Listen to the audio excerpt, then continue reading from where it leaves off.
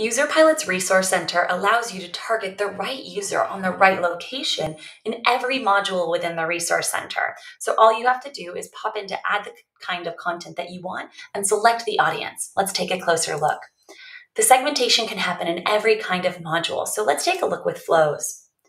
Let's imagine I want to set a flow that's only available for a certain user type or at a certain stage in the user's journey.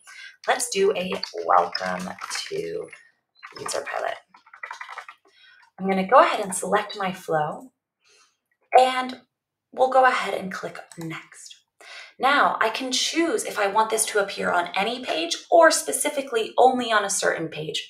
Perhaps I want to keep all of my relevant content page specific. So all of my invoice documents will only be available on the pages that are relevant to invoices etc.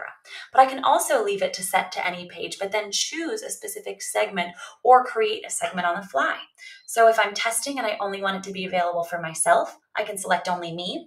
Be mindful, this is true for anybody on your team. So if you select only me, anybody within your own Userpilot use sphere will be able to see this. I'm going to select users that match a specific condition. Now, this is the exact same way that we would create a segment anywhere else within our application, so it should look pretty familiar. I'm going to click Add a Condition, it's going to take me over here. Let me move my face. and so I'm going to select um, a specific user type. So I can say I want user identification, and then perhaps I have been passing things like role or um, a user type. Or maybe I want to give a user an update for something that's new. So I can say, if you haven't been to the platform in more than 30 days, um, then I want them to see this great new welcome.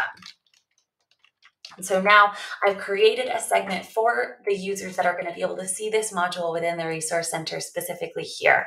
And this can be done, like I said, in the exact same way that you would create segments in the segment setting or within flows. So you should be able to recognize this. And also you can save this segment here if you choose to use this again in the future, and it'll populate back in your segments in your audience settings. So we're going to go ahead and click save.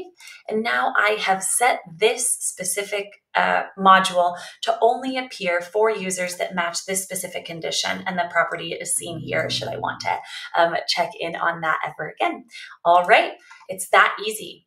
And now this piece of content will be available for my users um, after they have navigated uh, back to my platform after the last 30 days. Let me know if you have any questions.